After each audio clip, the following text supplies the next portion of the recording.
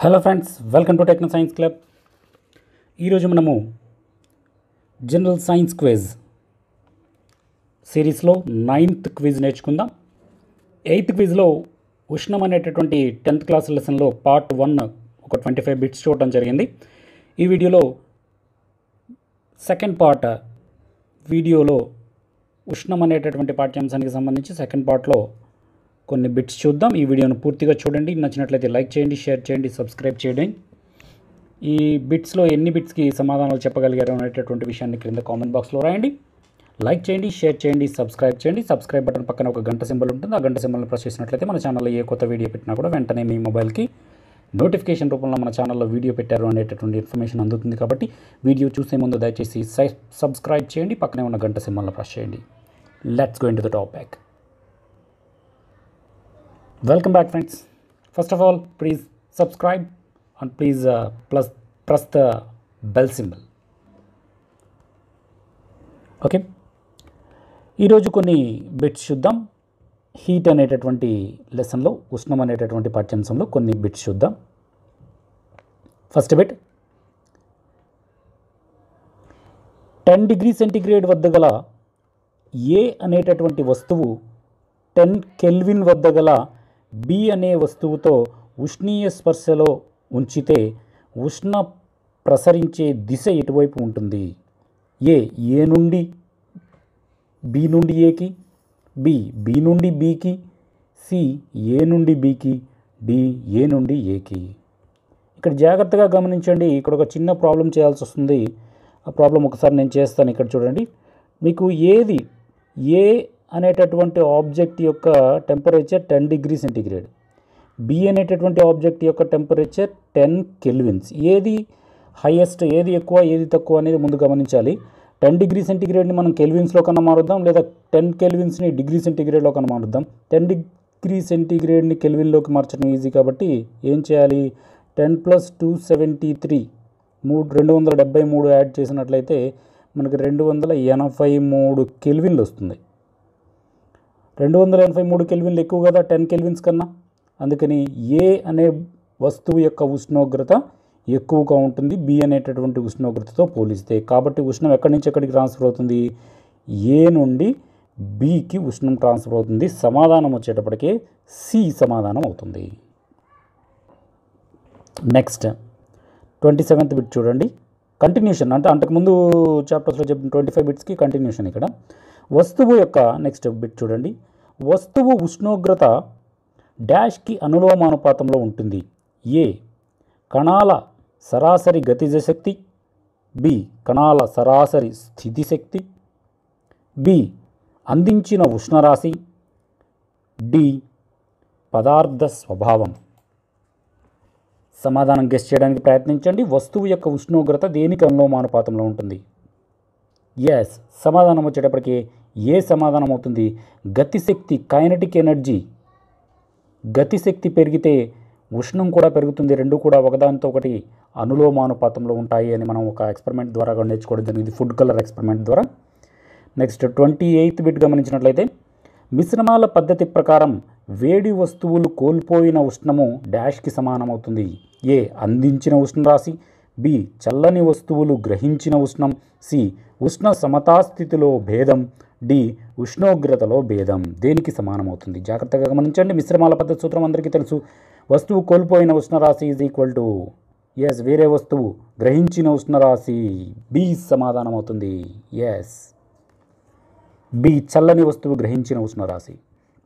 Next twenty ninth bit గమనించినట్లయితే వేసవి రోజుల్లో ఉక్కపోతకు కారణం. ఇప్పుడు వేసవి రోజులు వస్తున్నాయి కదా మనకి రాత్రిపూట కూడా బాగా ఉక్కపోస్తూ ఉంది. పైన ఫ్యాన్ తిరుగుతూ ఉంటుంది కానీ కింద చెమట పోస్తూ ఉంటుంది. దాన్ని ఉక్కపోయడం అంటారు. అలా ఉక్కపోయడానికి కారణం ఏంటి? ఏ ఎందువల్ల అలా ఉక్కపోస్తుంది? ఏ అధిక బాష్పీభవనం వల్ల? బి అధిక ఉష్ణోగ్రత వల్ల? సి కరెంటు కోత వల్ల? డి అధిక మరుగు స్థానము వల్ల? సమాధానం గెస్ట్ చేయడానికి ప్రయత్నించండి. కరెంటు కోత కాదండి కరెంటు కోత వల్ల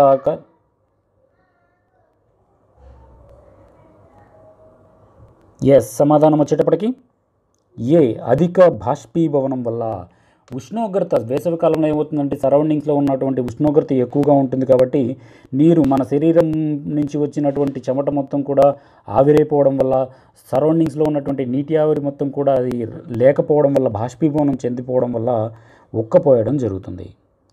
ఎక్కువగా బాష్పీభవనం చెంది గాలిలో నీటి ఆవిరి కణాలు ఎక్కువగా ఉండడం వల్ల అలా ఉక్కపోయడం జరుగుతుంది. Next bit. శీతలీకరణిగా వాడేటటువంటి పదార్థం ఏది? శీతలీకరణిగా వాడేటటువంటి పదార్థం ఏది? ఏ మంచు బి కిరోసిన్ సి నీరు డి గ్రీజు. సమాధానం గెస్ట్ చేయండి. ఎస్ మీ అందరికీ తెలుసు నీటి యొక్క అధిక విశిష్టోష్ణం వల్ల నీటిని శీతలీకరణిగా వాడతారు. సి సమాధానం అవుతుంది. నెక్స్ట్ బిట్ నీటిపై మంచు తేలడానికి కారణం ఏమిటి? ఏ మంచు సాంద్రత తక్కువ బి నీటి సాంద్రత తక్కువ సి ఉష్ణ స్పర్శ డి పదార్థ స్థితి ఎస్ సమాధానం గెస్ చేయండి ఎస్ సమాధానం వచ్చేటప్పటికి మంచు సాంద్రత తక్కువగా ఉంటుంది నీటి సాంద్రత కన్నా। అందుకని నీటిపైన మంచు తేలుతుంది. నెక్స్ట్ ఏ వస్తువులైనా సరే సాంద్రత తక్కువగా ఉన్నటువంటి వస్తువులు సాంద్రత ఎక్కువగా ఉన్నటువంటి వస్తువులపైన తేలుతూ ఉంటాయి. నెక్స్ట్ చల్లదనం లేదా వెచ్చదనం యొక్క తీవ్రతను ఏమంటారు? ఏ ఉష్ణం బి ఉష్ణోగ్రత సి డిగ్రీలు డి కెల్విన్స్. ఎస్ సమాధానం వచ్చేటప్పటికి ఉష్ణోగ్రత అంటారు. ఒక వస్తువు యొక్క చల్లదనం లేదా వెచ్చదనం యొక్క తీవ్రతను ఉష్ణోగ్రత అంటారు. నెక్స్ట్ థర్టీ త్రీ బిట్ చూసినట్లయితే రెండు వస్తువుల మధ్య ఉష్ణ సమతా స్థితి ఉందని సాధించాలంటే ఆ రెండు వస్తువులు ఎలా ఉండాలి? ఏ ఒకదానితో ఒకటి స్పర్శలో ఉండాలి. బి వేరువేరు ఉష్ణోగ్రతలు కలిగి ఉండాలి. సి ఒకదానితో ఒకటి దూరంగా ఉండాలి. డి ఒకే ఉష్ణోగ్రతను కలిగి ఉండాలి. సమాధానం గెస్ చేయండి రెండు కూడా ఉష్ణ సమతా స్థితిని పొందాలంటే ఆ రెండు వస్తువులు ఎలా ఉండాలి? ఎస్ సమాధానం వచ్చేటప్పటికి ఏ ఒకదానితో ఒకటి స్పర్శించుకుంటూ ఉండాలి. ఉష్ణీయ స్పర్శలో ఉన్నప్పుడు మాత్రమే ఉష్ణోగ్రత ఎక్- అధిక వేడిగల ఉష్ణోగ్రత నుంచి వస్తువు నుంచి ఈ తక్కువ ఉష్ణోగ్రత గల వస్తువుకు ఉష్ణ బదిలీ అనేది జరుగుతుంది కాబట్టి అలా బదిలీ జరిగిన కాసేపటికి రెండు వస్తువులు ఒకే సంబంధం ఒకే ఉష్ణోగ్రతకు చేరుకుంటాయి. ఆ స్థితిని మనం సమతాస్థితి ఉష్ణ సమతాస్థితి అని చెప్పుకున్నాం. కాబట్టి ఉష్ణ సమతాస్థితిలో ఉండాలంటే రెండు వస్తువులు స్పర్శలో ఉండాలి. నెక్స్ట్ ఉష్ణానికి ఎస్ఐ ప్రమాణాలు A calorie? B Celsius C joules D kelvins yes సమాధానం వచ్చేటప్పటికి జౌల్స్ ఉష్ణానికి ఎస్ఐ ప్రమాణాలు జౌల్స్ నెక్స్ట్ ఉష్ణానికి సిజిఎస్ ప్రమాణాలు A kelvin B Celsius C joules D kelvin. Calorie Celsius joule kelvin. CGS ప్రమాణాలు ఏంటి ఉష్ణానికి? ఎస్ సమాధానం వచ్చేటప్పటికి క్యాలరీ కెలోరీ అంటాం. ఉష్ణానికి సిజిఎస్ ప్రమాణాలు కెలోరీస్ ఎస్ఐ ప్రమాణాలు జౌల్స్. జాగ్రత్త గుర్తుపెట్టుకోండి. One calorie is equal to ఎన్ని జౌల్స్కి సమానం? A ten to the power of three B four C ten to the power of minus three D four point one eight six. సమాధానం guess చేయండి one calorie is equal to ఎన్ని joules yes సమాధానం వచ్చేటప్పటికి D సమాధానం అవుతుంది. Four point one eight six joules అవుతుంది. Next thirty seventh bit ఉష్ణ సమతా స్థితి వద్ద థర్మామీటర్ రీడింగ్ను డాష్ను సూచిస్తుంది. ధర్మామీటర్ థర్మామీటర్ రీడింగ్ ఎలాంటిగా ఎలా సూచిస్తుంది? ఏ ఉష్ణం బి ఉష్ణోగ్రత సి శక్తి మార్పు డి అణువుల గతిశక్తిలో మార్పును చూపిస్తుందా. ఏదైనా రెండు వస్తువులు ఉష్ణ సమతాస్థితిలో ఉన్నప్పుడు ధర్మామీటర్లో చూపించే రీడింగ్ను ఏమంటారు?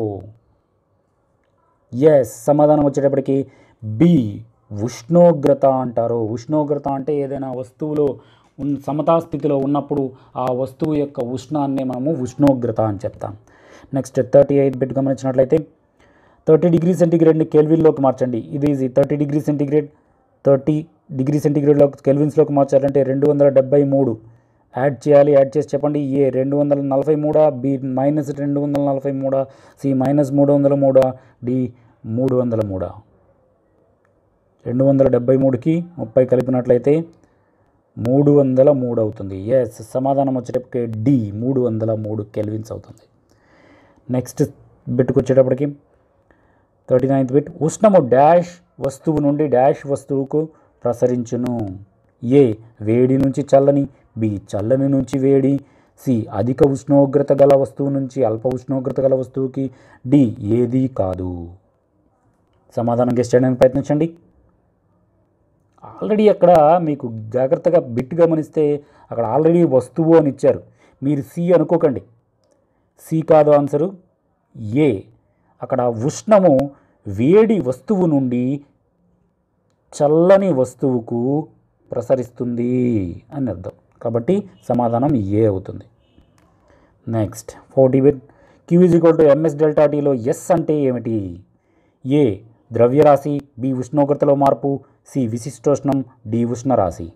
సమాధానం గెస్టండి ఎస్ ఎస్ అంటే విశిష్టోష్ణము సి సమాధానం అవుతుంది. నెక్స్ట్ బిట్ గమనించినట్లయితే అధిక విశిష్టోష్ణము గల పదార్థం ఏది? క్రింది వాటిలో. ఏ మంచు బి సీసం సి నీరు డి కిరోసిన్. అధిక ఉష్ విశిష్టోష్ణం కలది. మీకు అక్కడ టెక్స్ట్ బుక్లో ఒక పట్టిక ఉంది. ఆ పట్టికలో మీకు పద పదార్థాలు విశిష్టోష్ణాలు ఇచ్చారు. అవి జాగ్రత్తగా గమనించండి. ఎలా అయినా అధిక ఉష్ణోగ్రత ఉన్నది అధిక విశిష్టోష్ణం ఉన్నది అల్ప విశిష్టోష్ణం ఉన్నది అరగడానికి అవకాశం ఉంటుంది. మీ అందరికీ తెలుసు ఆల్రెడీ అధిక విశిష్టోష్ణము కలిగినది నీరు. దాని యొక్క విశిష్టోష్ణం ఒకటి దాని విలువ కాబట్టి సి సమాధానం అవుతుంది. నెక్స్ట్ ఫార్టీ త్రీ ఒక ద్రవ్ ఒక ద్రవ ఉపరితలం వద్ద ద్రవము వాయు స్థితిలో మార్పు చెందడాన్ని ఏమంటారు? మార్పు చెందడమే. ఏ. మరగడం బి. బాష్పీభవనం సి. సాంద్రీకరణం డి. ఆర్ద్రత. ద్రవ ఉపరితలం వద్ద ద్రవం వాయు స్థితిలోకి మారడాన్ని ఏమంటారు? ఎస్. బాష్పీభవనం. అక్కడ ఉష్ణోగ్రతను మెన్షన్ చేయలేదు. కాబట్టి ఏ ఉష్ణోగ్రత వద్దైనా అని అర్థం. అందుకని ఏ ఉష్ణోగ్రత వద్దైనా ద్రవం వాయు స్థితిలోకి మారితే దాన్ని బాష్పీభవనం అంటారు. బి సమాధానం అవుతుంది. Next forty four. వాయువు ద్రవస్థితి మార్పు చెందుటను ఏమంటారు? వాయువు ద్రవస్థితిలోకి మార్ వాయువు ద్రవస్థితిలోకి మార్పు చెందడాన్ని ఏమంటారు? ఏ. మరగడం బి. బాష్పీభవనం సి. సాంద్రీకరణం డి. ఆర్ద్రత. ఎస్ సమాధానం వచ్చేటప్పటికి సాంద్రీకరణము. వాయు స్థితిలో ఉన్నటువంటి వస్తువు ద్రవస్థితిలోకి మారడాన్ని సాంద్రీకరణము అంటారు. నెక్స్ట్ బిట్ గాలిలో గల నీటి ఆవిరి పరిమాణాన్ని ఏమంటారు? ఏ మరుగుస్థానము? బి పొగమంచు సి తుషారము డి ఆర్ద్రత. సమాధానం గెస్ చేయడానికి ప్రయత్నించండి. గాలిలో ఉన్నటువంటి నీటి ఆవిరి పరిమాణాన్ని ఏమంటారు? ఎస్ సమాధానం వచ్చేటప్పటికి ఆర్ద్రత డి అవుతుంది. నెక్స్ట్ బిట్ ఏదైనా పీడనం స్థిర ఉష్ణోగ్రత వద్ద ద్రవస్థితిలోని పదార్థం వాయు స్థితిలోకి మారడాన్ని ఏమంటారు? ఏ మరగడం? బి బాష్పీభవనం సి సాంద్రీకరణం డి ఆర్ద్రత. సమాధానం గెచ్చడానికి ప్రయత్నించండి. ఎస్ స్థిర ఉష్ణోగ్రత స్థిర పీడనం అన్నారు కాబట్టి స్థిర ఉష్ణోగ్రత స్థిర పీడనం వద్ద ద్రవస్థితిలో ఉన్న పదార్థం వాయు స్థితిలోకి మారితే దాన్ని మరగడం అంటారు. ఏ సమాధానం అవుతుంది? నెక్స్ట్ బిట్ గమనించినట్లయితే నీరు ద్రవస్థితి నుండి వాయుస్థితికి మారడానికి వినియోగపడినటువంటి ఉష్ణాన్ని ఏమంటారు? నీరు ద్రవస్థితి నుండి వాయుస్థితికి మారడానికి వంద డిగ్రీల దగ్గర నీరు ద్రవస్థితి నుండి వాయుస్థితికి మారుతుంది. ఉష్ణోగ్రత మాత్రం మారదు. అలా ఉష్ణోగ్రత మారకుండా ద్రవస్థితి నుండి వాయుస్థితికి మారడానికి ఎంత ఉష్ణాన్ని అయితే ఎంత మనం ఎంత వేడినన్నా ఏమైంది ఉష్ణోగ్రత మాత్రం పెరగదు. అలా పెరగకుండా మనం ఇచ్చినటువంటి ఉష్ణం ఏమైంది? అలా ఉండడాన్ని ఏమంటారు? వీరు ద్రవస్థితి నుండి వాయుస్థితికి మారడాన్ని వినియోగించే ఉష్ణాన్ని ఏమంటారు? ఏ మరుగుస్థానము? బి సాంద్రీకరణ గుప్తోష్ణము. సి ద్రవీభవన గుప్తోష్ణము. డి బాష్పీభవన గుప్తోష్ణము. ఎస్ నీరు ఏమవుతుంది? ద్రవస్థితి నుండి వాయుస్థితికి మారుతుంది.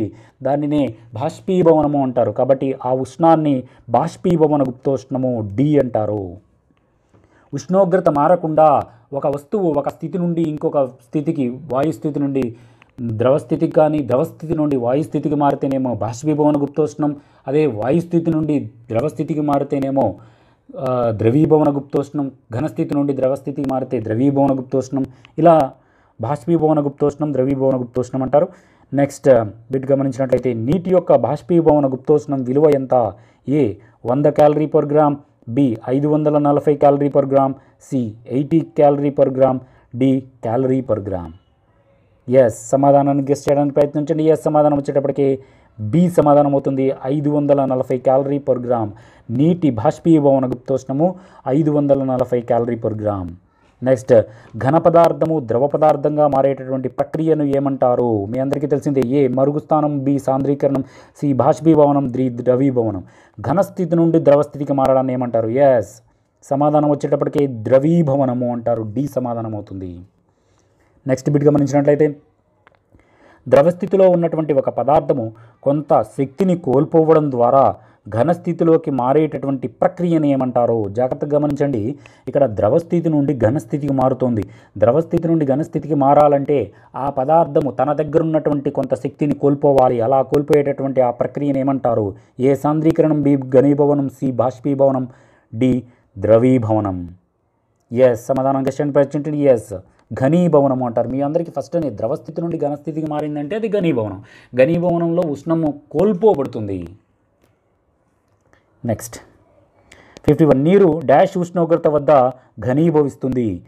ఏ. సున్నా డిగ్రీ సెంటీగ్రేడ్. బి. రెండు వందల డెబ్బై మూడు కెల్విన్స్. సి. ముప్పై రెండు డిగ్రీ ఫారెన్ హీట్ డి. పైవన్ని. ఎస్ సమాధానం వచ్చేటప్పటికి డి పైవన్ని. అదేంటనొచ్చు మీరు? జనరల్గా జీరో డిగ్రీ సెంటీగ్రేడ్ దగ్గర ఉష్ణము నీరు గడ్డ కడుతుంది ఘనీభవిస్తుంది. కానీ zero degrees kelvin zero degree సెంటీగ్రేడ్ని కెల్విన్లోకి మారిస్తే రెండు వందల డెబ్బై మూడు కెల్విన్స్ అదే ఫారెన్ హీట్లలోకి మారిస్తే థర్టీ టూ ఫారెన్ హీట్లు అవుతుంది. మూడు రైటే కాబట్టి పై పైవన్నీ అనేటటువంటి సమాధానం కరెక్ట్ అవుతుంది డి సమాధానం అవుతుంది. నెక్స్ట్ బెట్ ఉష్ణోగ్రతకు ఎస్ఐ ప్రమాణాలు. ఇందాక ఉష్ణానికి చూసాం మనం ఇప్పుడు ఉష్ణోగ్రతకు ఎస్ఐ ప్రమాణాలు ఏంటి? A Celsius B calorie C joules D kelvins. Yes. సమాధానం గెస్ చేయండి ఎస్. కెల్విన్స్.